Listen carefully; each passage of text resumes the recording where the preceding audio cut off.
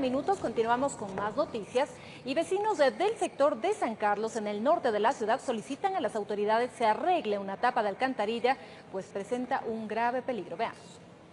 Aunque para muchos pueda parecer un hueco de proporciones menores, para los moradores de San Carlos al norte de Quito, es un problema que les ha causado grandes males. Ese hueco está ya más de un año. Está más de un año y los muchachos de la escuela se escapan a caer en ese hueco porque eh, están jugando y, y, se han escapado a caer. Entonces es un peligro terrible. En la noche peor, señorita, porque en la noche ni siquiera se ve. Ya ha habido incluso accidentes en el sitio. Lo que pasa es que yo venía de mi trabajo y pasaba un joven, se hundió.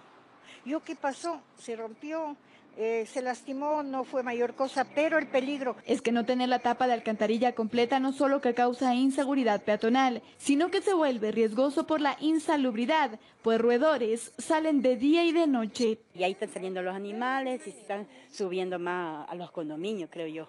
Porque yo una vez yo vi por ahí caminaba. Y qué miedo, yo no tengo tanto miedo, pero los otros sí tienen, pues. Y ahí yo ya le vi al otro, al siguiente día, ya le vi aquí muerta cogido y la han botado. Los vecinos del sector solicitan que se repare de inmediato la tapa de la alcantarilla para evitar que alguien más salga herido. En Quito informó Andrea Orbe.